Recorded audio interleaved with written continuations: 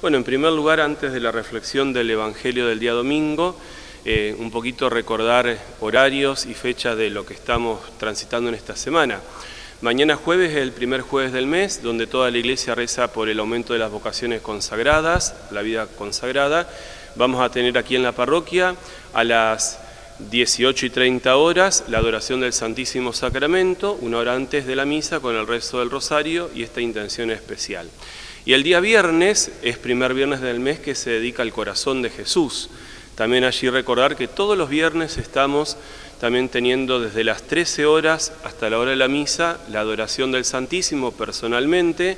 Para aquellos que quieran venir un ratito a estar con Jesús, se coloca a Jesús Eucaristía en el altar del corazón de Jesús y también media hora antes de la misa, el rezo del rosario y la misa eh, ofrecida en el primer viernes al corazón de Jesús. El fin de semana que viene vamos a tener un pequeño horario, cambio de horario en la misa de San Carlos Norte.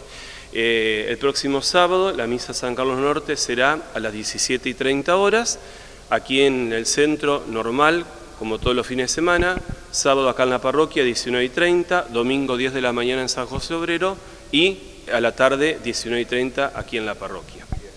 Muy bien, eh, eh, siempre eh, es importante dar cuenta de estos horarios porque a veces tienen fluctuaciones, cambios. Así es, por algún motivo especial o alguna celebración, por ahí a veces hay algún pequeño cambio. También recordar a la comunidad, estamos en el mes de octubre, como lo dije el fin de semana pasado, hay acontecimientos importantes, pero de una manera especial, el próximo fin de semana es el fin de semana de las misiones. El mes de octubre es el mes misionero. La colecta de las misas ese fin de semana se destinan a las misiones fuera del país, justamente, lo que se llama misiones adyente, hacia la gente, fuera del país. En todas las colectas de las misas de las parroquias, capillas, bueno, esa colecta se destina a las misiones. Padre, vemos la, parroquia que está impecable. Se terminaron los trabajos, este, al menos más gruesos, quedan eh, algunos detalles, pero durante más de un año largo trabajaron con polvillo, este, renovando toda la instalación eléctrica, haciendo nuevas este, instalación de servicios.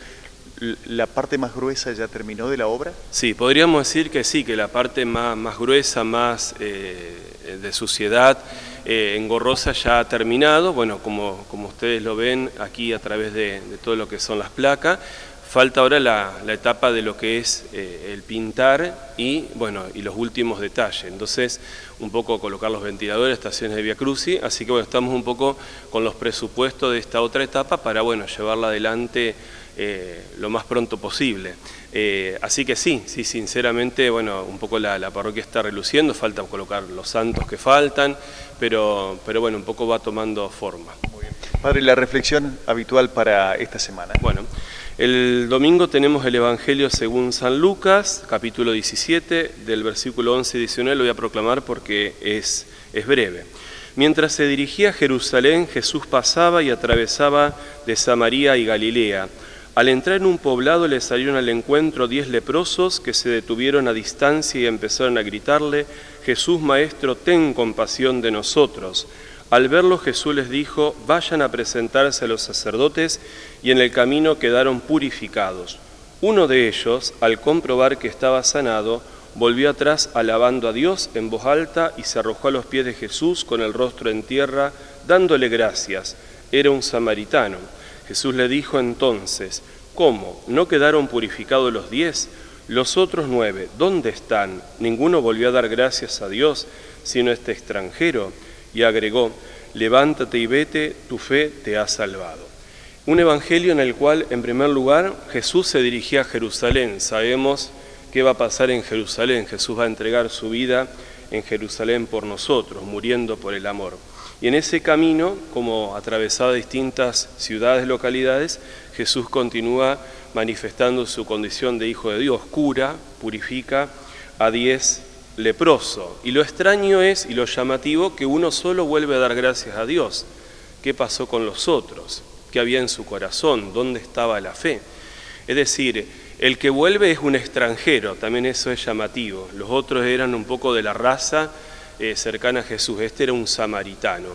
y vuelve a dar gracias. ¿Cuántas veces en nuestra vida nos pasa esto también? No nos damos cuenta y no volvemos o no agradecemos cuando el Señor también va obrando nuestra vida. Podríamos decir que el corazón de los nueve que no volvían a dar gracias, por más que fueron curados, estuvo un corazón cerrado. Se lo pedimos al Señor especialmente con una pequeña oración para que el Señor vaya obrando nuestro corazón y en nuestra vida.